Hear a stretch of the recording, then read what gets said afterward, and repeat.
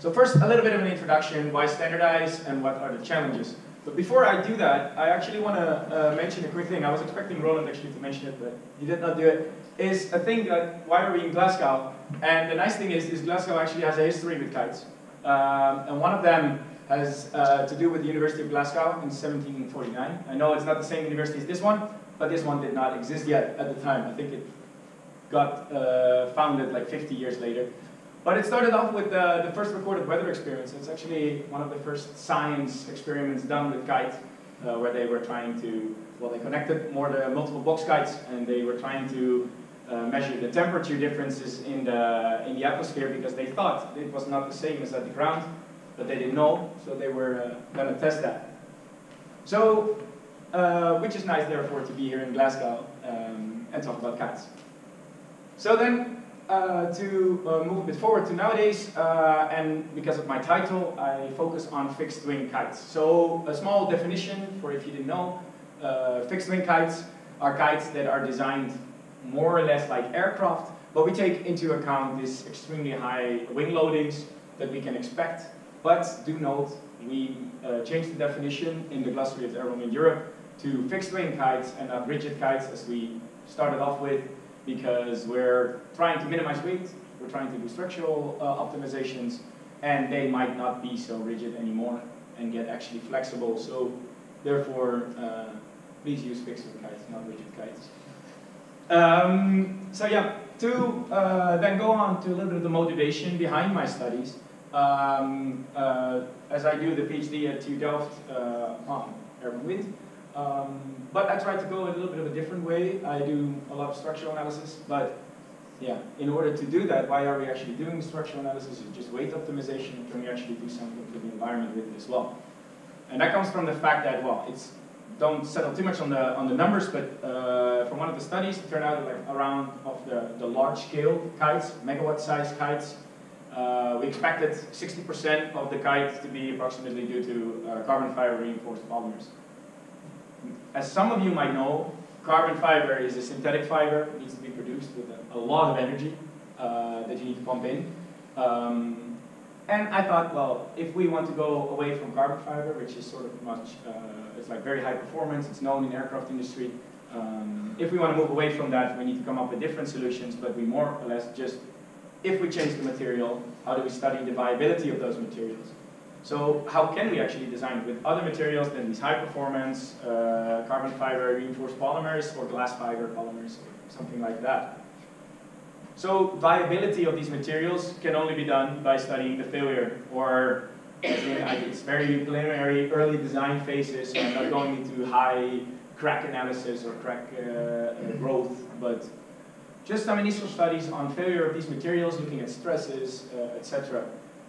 And um, that comes to the point where I think we need, uh, as we study this viability, we want some realistic cases. Uh, like, where do we put the kite? How do we orient the kite? Um, in what condition is the tether at that time? And I think it would be worth it if we want to compare our values. Uh, was also one of the initial reasons why we started off and create MegAWES, uh, is we wanted the community to be able to compare, to be able to show that their models might be better uh, or, or worse, but that's uh, uh, not so good, of course. But to just be able to, to standardize something where we can say, okay, we have this guide, we have this guide, we analyzed it for these loads, and we can actually compare them because they were more or less studying the same conditions. And I think that's important. So, but in order to do that, I need to introduce a little bit our simulation environment. And one of the things that I um, probably won't change um, is that I uh, work most of my framework in MATLAB. So I basically use MATLAB to, to initiate the code, generate my geometry, mesh my geometry, and eventually run it in Nastran. And I will, the code will eventually be, made available, open source, which is parameterized geometry, uh, structural meshing. The only thing I cannot make available is Nastran, which is a code developed by uh, Siemens. Uh, but the reason I use this is it's uh, yeah, many optimizations of finite element modeling uh, and analysis, and I did not want to bother of the whole validity study or the whole um, validation of my software in that case uh, to prove that my structural analysis actually is, uh, is, uh, is, is correct. So therefore we use a, commercial software on that side. But it's basically just an exporting of the mesh to the software, so basically you can use your own analysis software uh, by changing the export functions of mesh. So uh, I studied a few, like there's many failure modes, there's many things you can do. I studied uh, a few of the things that I could do easily. Uh, I mainly look at uh, uh, linear static analysis or linear analysis because it's also easier to integrate your materials in a linear way. Um, and also your elements, like the mesh, uh, going to nonlinear solving, your mesh needs to be even more high quality, etc., etc. So I look mainly at buckling. It's a nice solver. Um, it does, it performs a linear eigenvalue analysis, but it doesn't really matter. Uh, I look at yield, so basically export all my stresses from my structural analysis back into MATLAB, and I do some post-processing where I compare uh, if my composites fail, uh, but also if there might be some metals uh, or blade materials. I will also study that. And finally also Flutter, which can do, uh, which we can do in both ways. Uh, we have a Flutter analysis code in MATLAB, but we might decide to switch this also to Nastran is it also allows us to do like a non-constrained, um, yeah, the non-constrained analysis of Flutter. So you have like the rigid body uh, frequencies as well. Because there's one thing I need to do is if you don't want to do linear static analysis in uh, structure solver, you need to fix your structure in some way, which in our case is basically my tether attachment point. Then my ge geometry, I did it parameterized, so I basically have a, a, a buttload of parameters. You can reduce it, you can make uh, relations between some of them. But I basically parameterize my geometry, chord lengths, uh, wingspans, etc. I mesh it, uh, run it, and then as I said, uh, the tether attachment point is constrained, so basically the single point constraints to yeah, keep my kite to the ground, because otherwise if you introduce a load, it will just infinitely move in space. So then, the standardization. So I make more or less now a comparison between conventional wings. So I'm talking like uh, Christian already mentioned, the IEC 61400-1 or uh, hyphen 1 uh, standards, where they show the design requirements and design load cases for wind turbine blades. And I kind of make a small comparison because I think we can use a lot of their knowledge of the wind uh, industry. And I also think we basically should because if we're trying to reinvent the wheel, it's going to take ages before we reach uh, yeah, a viable state. So let's not try to do that. So I wanted to stress out a little bit what standardization in the wind industry, uh, how it started, or not per se how it started, but how it became so popular. It started with the, also with the reference turbines, so we had these benchmarks. Um, you have multiple benchmarks as showing the citations, and basically just to stress out well, how popular those uh, reports and uh, publications were.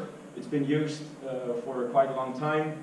I did my studies uh, for wind energy, at least at DTU, and I think I've done like a million analysis of the NREL 5 megawatt turbine uh, back then. Um, so basically also teach new students to use the turbine. So I think it shows some importance of using standard systems in this case. But then in terms of structural design, yeah, as I said, have the IEC standards. Uh, they were first published in 1994, but please note, like the first wind turbine built for electric, uh, electricity production was already in 1887. So basically it took more than 100 years from the first electrical turbine to be built to go to the first design standards and certification uh, procedures of at least of the design requirements of a, of a blade. Which, well, as you can imagine, that means should we wait 100 years for the first like two systems to produce? SkySails would produce a full system, they would sell it, it will be flying, it will be operating, and then at some point we need to figure out, okay, let's make now some standards on how to do load analysis on a kite. I don't think that is a very smart idea, but that imposes quite some challenges for me because I don't have a basis. I need to come up with them, but I also don't want to come up with something that no industry partner or no other researcher wants to use because that would make my PhD pretty worthless which of course I don't want to do. So what I'm trying to figure out is does this actually apply, these design requirements? So does it apply to airborne wind? And I think it does. Right? Modify some things, but I think it does. And uh, also there's this huge table, you can see the figure, uh, it comes from the IEC document. There's like a lot of load cases, a lot of design situations, and many things to consider. So I will focus on a very small part of that. So challenges that we encounter, as I said, there is no design load case for the design situation at this moment, at least standardized. So companies have been choosing their own ways to do structural analysis of their fixed wing kites, but even soft kites, it doesn't really matter in that sense. Um, they choose their own uh, standards for that. So my other challenge is, does the index 3 actually agree with what I do? So as I said, I don't want my work to end up on a pile, nobody's using it. So I want the industry to more or less agree, uh, agree on my choices of load case. But that also means, means I need to keep it on a very high level, not too specific. You can use your own tools to figure them out. I figure the loads out, but at least the orientation, for example, of the kite can be similar for whatever uh, kite you're designing. So I focus on mainly two areas, and one is actually very little, so I focus mainly on the power production phase. There's also startup and uh, etc., part positions and any of these other stages. But I focus mainly on, mainly on the power production, and I will also discuss or propose one fault condition, which I think, well, that it doesn't exist in wind turbines, and I think for us that is uh, very important to do. So power production, uh, when we look at a wind turbine, mainly what they say, the conditions you have to consider is like maximum mass, uh, rotor imbalance, but even yaw, misalignment. Those are conditions they're specifying. They're not saying how to calculate but they basically just say, this is these things you need to consider. And then they say, okay, if you can come up with more specific stuff for your system, you also need to consider this. So what I'm trying to do is, how do you translate this to the kite? And that comes to the identification of our design situations. So basically, are we putting our kite in full crosswind, meaning that we put the kite on the side, for example, basically that the gravity aligns with the wing instead of pointing uh, perfectly out of the aircraft or downwards? Um, and are we putting it under the, the specified elevation angles? Um, or do you have to always run this analysis, run design uh, or dynamic simulations and figure out which positions around your flight path causes the, the biggest problem? You might can you can come up with some of these ideas, but what I'm trying to do is I want to run as much dynamic simulation as I can with the MegAWES framework, but a much more improved version, as we see many people are actually working with the MegAWES framework, so I'm also trying to include all of these uh, impressive uh, improvements, uh, which I will discuss tomorrow in the MegAWES presentation, but basically we'll talk about what other people do, not me, but they improve my work, which is very nice. So I'm trying to do that, uh, I want to do some uh, flight test data analysis. Um, I recently started a nice uh, collaboration with Kitekraft. It's a box wing, it's fixed wing, plus a fly-gen system. However, uh, accompanied with dynamic simulation, I would like to, to see if we can find along a flight path or along a circle or along a figure of eight, we can see the same critical conditions of, uh, of stresses and loadings uh, on the kite. And uh, one of the other things, theoretical extremes. As I said, we might want to do perfect crosswind, as Loyd imagined in the equations, maximum power extraction point. We might think, okay, let's put it just on, it's a theoretical thing because we cannot usually not do that, or you need a very big tower that you suspend to be able to fly with a horizontal tether. Um, but in normal conditions, the ground station is on the ground, flying in perfect crosswind means you're flying in the ground, uh, which we cannot do. But that might provide us with the safety factors we anyway, I think, in initial state would need to be sure. So these are the things I want to consider, uh, as I have not run the, the simulations and found these critical conditions yet, but I'm planning on doing this. And then there's a few conditions that you need to consider in the power production phase. It's turbulence and mainly turbulence and gust. So first, turbulence is that uh, you can do quite a few different uh, turbulence models. You have to decide one of them. Uh, I think in wind industry it's mainly Mann and Kaimal that are recommended in the IEC standards. Um, but there has been some literature also using the Dryden one. It's very popular in aircraft industry, and in the end, fixed wing kites are designed like aircraft.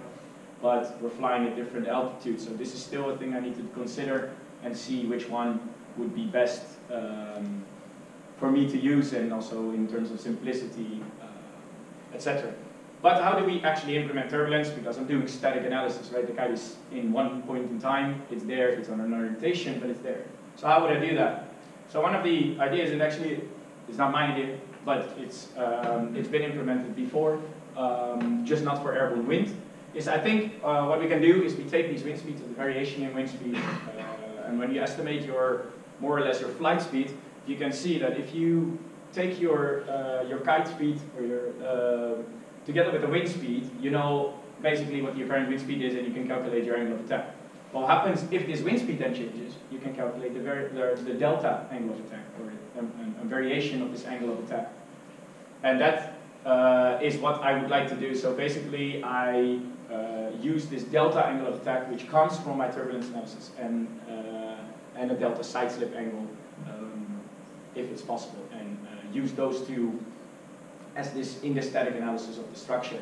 Um, if you want to do a full power cycle, uh, what would be smart is actually resolving it in time domain, because if you resolve it spatially, we keep flying the same pumping cycles. You need or a whole big grid, and you keep moving that through space, or you actually resolve the turbulence model fully in time, so you can keep going uh, in multiple pumping cycles, and you're not flying through the exact same turbulence, uh, yeah, turbulence field. Um, you can do a similar thing for gust. Uh, just gust would be considered more a, a sort of, a, in, in, this case, more of a 2D phenomenon in that sense, um, where you basically just consider uh, the delta angle of attack. So you can do a similar thing.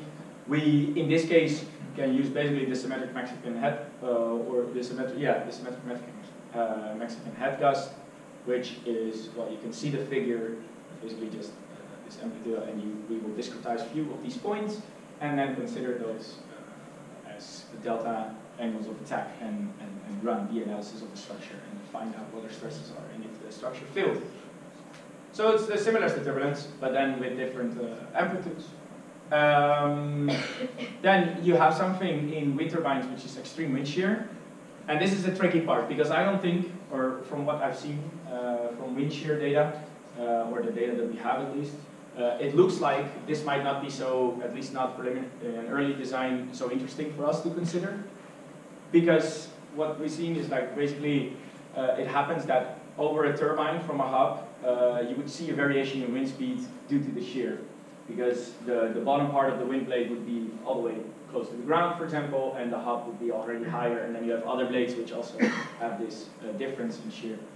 But for an airborne wind energy system, we fly already more, usually higher than a wind turbine. Um, okay, maybe if we design a wind turbine like 25 megawatts, you get close, but um, we fly higher, so we're already closer uh, with, let, us say, less wind shear. Uh, and also, unless you fly perfect crosswind, you there there is definitely some variations uh, along the wing uh, in, in speeds, but it might not at this stage it might be very too much detail and not so interesting to consider. So I probably won't consider this. And then there is the fault control. So they mention different fault methods for a wind turbine base, which could be control, system fails, uh, protection uh, system, or uh, an internal fault, like a, generator shortfall or anything like that. And I think for airborne wind energy systems, there might be many of them. There's also control system failure you could have, uh, as in for aircraft, you can do a similar analysis. But I think one of the things I should consider already is what we consider as a tether rupture. They might not be a tether rupture if you disconnect the tether before it ruptures, but there still is an effect on your structure. If the tether uh, ruptured, suddenly the kite will experience a loss of force. So this force that was there, and we're talking about incredible amounts of forces. If you have megawatts kites, you, let's say a 3 megawatt kite, if you reload with like 10 meters per second, um, you basically already have around 300,000 uh, newtons um, or 300 kilonewtons of force uh, that you lose on your system. If you have a, the megawatt kite, it was around the megawatt kite, it is uh, it was quite a heavy kite. What um, I think it was around six kilograms, uh, if I was correct. Um, but yeah, there's a large difference in magnitudes, and the force of, of lose, like losing the force of the tether is a big control issue. But if you look at structures, you will see that impact. And one of the things I can do in a static analysis is I can impose accelerations on my structure. As I say, as you do gravity, it's just an acceleration term. And I think what would be uh, a nice idea to see, as I've never not seen the results, maybe it, it, doesn't make any sense, but I would like to see some simulations and actually impose or calculate this uh, loss of force causing an acceleration on the kite and use this acceleration to then do see what that means for my stresses along the along the wing. So I think that might be a, a, good thing as well to do and a very simple approach on an early stage as well. So coming then to the end of my presentation, uh, the conclusion um, is there basically are a lot of similarities with the IEC standards that I think we can take as well, but you might modify it a little bit or in terms of fault uh, DLCs, uh, you need to change it because we have different uh, systems that can fail than uh, a wind turbine does. So many things. Uh, criti uh, critical condition analysis is required, so basically I cannot move on with it without finding out what are the situations that I really want to consider. Um, so that is basically the first thing I am uh, I will be doing. Um, uh, then static structural analysis is what I'm performing. So as I said with the turbulence and the gust, you basically take this delta angle of attack into account. It also delayed my research a little bit because I had to move from one aerodynamic model to the next. Because basically if you fly as, a, as an airborne wind energy kite during traction phase at high angles of attack, meaning a delta angle of attack in a positive direction, basically means you end up in somewhat close to stall. Or at least somewhere along the wing you might encounter phenomena close to stall. And our viscous panel method, the 3D panel method that Leonid was using, well, will be far off, completely wrong. So we decided to uh, switch to the model that During his master thesis together with Mark implemented, um, and basically allows us to use the viscous polars um, to get a better estimate of what happens during this stall region. Um, so that's why I had to change models. It took a bit long. But I think with the delta angle of attack method, that's basically uh, important, that once you fly at high angles of attack, you also take this uh, viscous uh, effects into account. And then the tether rupture modeling, as I said, I think I, uh, I want to do this with this sort of an added acceleration term. But if you come up with better ideas, please let me know. Uh, I'm happy to take this into account. So the future work is uh, looking at these critical conditions. safety factors, I think, is a very important thing. Maybe your situation already takes a safety factor, as I said, with the crosswind conditions, but you might also want to use others. The IEC standards also has a very long, extensive explanation on safety factors and how to agree on them. But can we use the same is a bit tricky. Um, and then eventually design exploration, so running them for multiple different designs and uh, seeing if I can use these different materials which we initially wanted to do. So that's my idea and uh, I want to thank you for your attention. Thank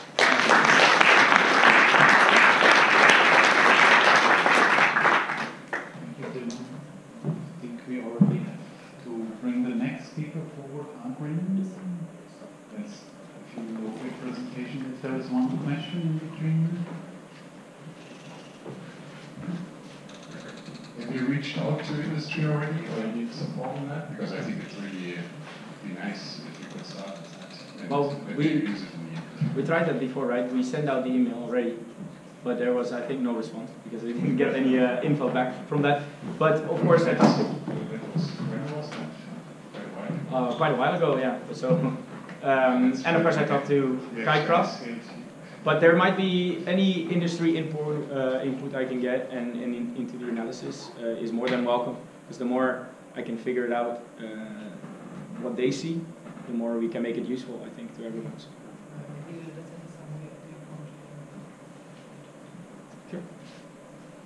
Thank you.